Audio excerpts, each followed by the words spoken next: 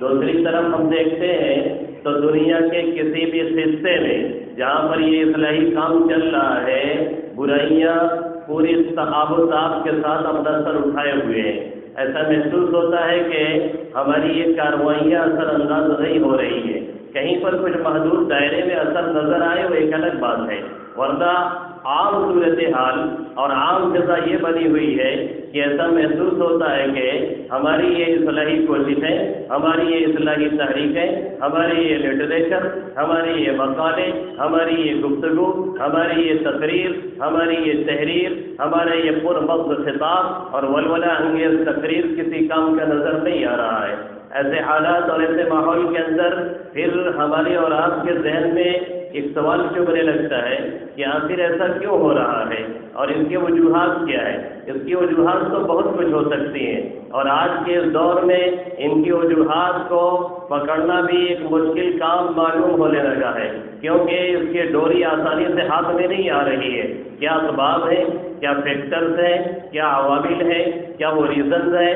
جس کی بنیاد پر یہ حالات لوگوں میں پیدا ہوتے چلے جا رہے ہیں۔ لیکن اس وقت کا سب سے بڑا سبب اور اس وقت کا سب سے بڑا ریزن اور سب سے اہم سبب یہ معلوم ہوتا ہے کہ ہم اور آپ جب معاشرے کی اس طرح کی باتوں کا تذکرہ کرتے ہیں، ہم اور آپ جب معاشرے کی اس طرح کی برائیوں کا تذکرہ کرتے ہیں، ہم اور آپ جب معاشرے کی ان برائیوں میں لگتے ہیں، جو برائیاں ہمیں گھر کی طرح سے چال نہیں اندر سے اور دیمک کی طرح سے کھا کر کے ختم کر رہی ہیں، تو یہ محسوس ہوتا ہے اور یہ اندازہ لگتا ہے کہ یہ تذکرے محض تذکرے ہیں۔ یہ اندازہ لگتا ہے کہ یہ باتیں محض تنقید کے لیے ہو رہی ہیں یہ اندازہ لگتا ہے کہ یہ باتیں مجلسوں کو سنوارنے کے لیے ہو رہی ہیں۔ یہ اندازہ لگتا ہے کہ یہ باتیں مجلسوں میں لطف پیدا کرنے کے لیے کی جا رہی ہیں۔ یہ اندازہ لگتا ہے کہ ہم اور آپ یہ بتانا چاہتے ہیں کہ ہم بہت بات کرنے میں ماہر ہیں۔ ہم یہ لوگوں کو باور کرانا چاہتے ہیں کہ معاشرے کی خرابیوں پر ہماری نظر ہے۔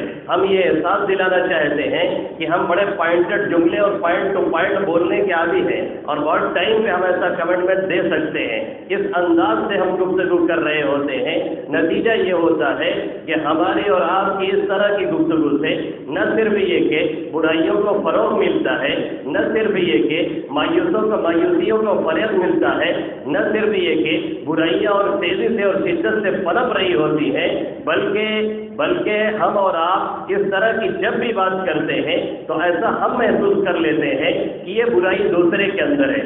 ہم جب بولتے ہیں تو سمجھتے ہیں یہ برائی آپ کے اندر ہے۔ آپ جب گفتگو کرتے ہیں تو سمجھتے ہیں یہ برائی صرف مولانا کے اندر ہے۔ کوئی دوسرا جب گفتگو کرتا ہے تو یہ سمجھتا ہے کہ یہ برائی ہمارے علاوہ کسی اور کے اندر ہے۔ ہر شخص یہ سمجھ رہا ہے کہ ہم بالکل دور کے دھلے ہوئے ہیں۔ ہر شخص یہ سمجھ رہا ہے کہ ہم بالکل پاک اور صاف ہیں۔ ہمارے اندر کوئی عیب نہیں ہے۔ ہمارے اندر کوئی برائی نہیں ہے۔ ہمارے اندر کوئی خرابی نہیں ہے۔ جب کوئی اصلاحی تحریر لے کے آگے بڑھتا ہے، جب کوئی تقریر و خطابت کے میدان میں قدم رکھتا ہے۔ جب کوئی اس طرح سے قلم اٹھاتا ہے، معاشرے کی برائیوں کا تذکرہ کرنے کے لیے تو اس انداز سے کر رہا ہوتا ہے۔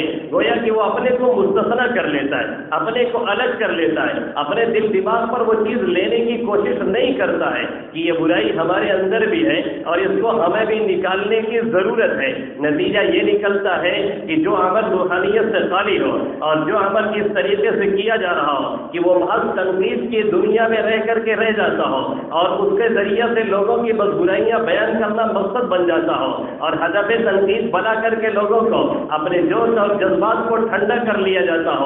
تو پھر اس سے کبھی بھی کسی بھی کسی شخص کی اصلاح نہیں ہو سکتی ہے۔ یہ ناممکن ہے اور ناممکن ہے۔ ایک شاعر کہتا ہے اور بالکل وجہ کہتا ہے کہ ہم دب رفیقہ جب معتبر نہیں ہوتا، کوئی ساتھ ہو لیکن ہم سفر نہیں ہوتا۔ ہم دب رفیقہ جب معتبر نہیں ہوتا، کوئی ساتھ ہو لیکن ہم سفر نہیں ہوتا۔ پرخلوص باتوں میں، پرخلوص باتوں میں ہی ریا کیا میں دل شاعر کا کمال دیکھیے۔ پرخلوص باتوں میں ہی ریا کیا میں نے اس لیے نصیحت کا اوسط نہیں ہوتا ہے۔ ہم لوگ اور آپ لوگ، یا اسی طریقے سے جتنے اس طرح کی مجلسیں لگا لگا کے بیٹھتے ہیں، بظاہر ہم بہت پرخلوص ہوتے ہیں، بظاہر ہم دل سے بات کر رہے ہوتے ہیں، بظاہر ایسا لگتا ہے کہ ہم اصلاح حال کی بات کر رہے ہوتے ہیں، لیکن ہمارا مقصد اور آپ کا مقصد اور ان مجلسوں کو جمانے والے کا مقصد اور ان مجلسوں کو لگانے والے کا مقصد اور یہ گھنٹے گھنٹے، دو دو گھنٹے جو ایک ایک مجلسوں میں تبصرے چلتے ہیں، ان کا مقصد اگر حقیقت میں ہم اپنے دلوں میں چھانک کر کے دیکھیں تو یہ محسوس ہوگا کہ ہم نے صرف تنقید کی ضرورت سے یہ بات کہی تھی. یہ محسوس ہوگا کہ ہم نے صرف ملامت کے طور پہ یہ بات کہی تھی. یہ محسوس ہوگا کہ ہم نے صرف مجلس آرائی کے لیے یہ بات کہی تھی. یہ محسوس ہوگا کہ ہم نے مجلس کی رونق کو بڑھانے کے لیے اور لوگوں کی واہوائی کے لیے یہ بات کہی تھی. اور اس سے زیادہ خطرناک مسئلہ یہ اور اس سے زیادہ بڑا المیہ یہ ہے اور اس سے بہت دھماکہ خیز سبب یہ ہے کہ ہم اس طرح کی برائیوں کا جب تذکرہ کرتے ہیں اور اس طرح کی برائیوں کی جب بات کرتے ہیں، ایسا لگتا ہے کہ ہم منزہ اور پاک اور صاف ہیں، بالکل دودھ کے دھلے ہوئے ہیں۔ لیکن جب عملی میدان میں ہم قدم رکھتے ہیں، تو بالکل بے تکان ان برائیوں کا ارتکاب کرتے ہوئے ہم اور آپ نظر آتے ہیں۔ جہیز کے خلاف ہم بڑی لچھے دار تقریر کرتے ہیں۔ لیکن جب میٹر کھڑا ہوتا ہے، تو ہم اسے کوٹ کر کے لینے کے لیے تیار ہو جایا کرتے ہیں۔ حسد کے خلاف ہماری زبان دندناتی ہوئی بالکل چل رہی ہوتی ہے۔ لیکن جب جائزہ لیا جاتا ہے، تو پتہ چلتا ہے کہ حضرت حسد کی سب سے بڑی بیماری نہیں، بلکہ اس کا کینسر ہمارے دلوں میں موجود ہے۔ ہم وقت عداوت کی بات کر رہے ہوتے ہیں کہ دوسروں کے اندر پرپ رہی ہے، لیکن جب اپنے دل میں ذرا ذرا چھان کر کے دیکھتے ہیں، تو یہ محسوس ہوتا ہے کہ سب سے زیادہ بغض عداوت ہمیں لے کر کے ٹہل رہے ہیں۔ ہم بدگمانی سے بچنے کی بات تو کرتے ہیں، لیکن جب ہم اپنے اندر جھانکتے ہیں، جھانکتے ہی نہیں ہیں، کہیں دوسرا بیچارہ مسکرا دیتا ہے۔ تو ہم یہی پٹ سے سمجھتے ہیں کہ ہمارے خلاف کوئی گفتگو چل رہی ہے۔ وہ ہمیں دیکھ کر کے مذاق اڑا رہا ہے، ہمارا وہی استحضا کر رہا ہے۔ یہ حقیقت نہیں ہے، بالکل کھلی ہوئی حقیقت ہے۔ ہر شخص محسوس کر سکتا ہے کہ ہم گفتار کے غازی تو ہیں، لیکن کردار کے غازی نہیں ہے اقبال بڑا ادیشک ہے۔ وہ نیتا ہے من باتوں میں۔ گفتار کا غازی وہ تو بنا، کردار کا غازی بن نہ سکا۔ آج صورت حال ہماری اور آپ کی یہی ہے کہ ہم معلوم کتنی معاشرتی برائیوں کا تذکرہ اپنی مجلسوں میں کرتے ہیں۔ تین تکان بولتے چلے جاتے ہیں، ایک ایک گھنٹے نہیں، دو دو گھنٹے نہیں، تین تین گھنٹے نہیں، بعض بعض کو کر رہے تو ایسا سے لے کر کے فجر تک گفتگو کرتے ہیں۔ لیکن معلوم یہ ہوتا ہے کہ عملی زندگی میں ہم سانس کے دیکھتے ہیں، ہمیں خود یہ اندازہ لگتا ہے کہ ہم نے صرف تقریب کی تھی، ہم نے عمل نہیں کیا۔ آپ کو خود یہ اندازہ لگتا ہے کہ ہم نے صرف یہ تنقید کی تھی۔ عملی دنیا میں ہم عملی میدان میں، اس میں ذرہ برابر ہم نے کوئی کامیابی نہیں حاصل کی ہے۔ ہماری اور آپ کی صورت حال بالکل یہ اس طرح سے ہو چکی ہے، جیسے کہیں پر آگ لگ جائے، ظاہر آگ لگ گئی ہے اور آگ پھیلتی جا رہی ہے اور ایک بھیانک شکل اختیار کرتی جا رہی ہے۔ اب کوئی شخص یہ نہیں کہے گا کھڑا ہو کر کے کہ یہاں پر آگ لگی ہے۔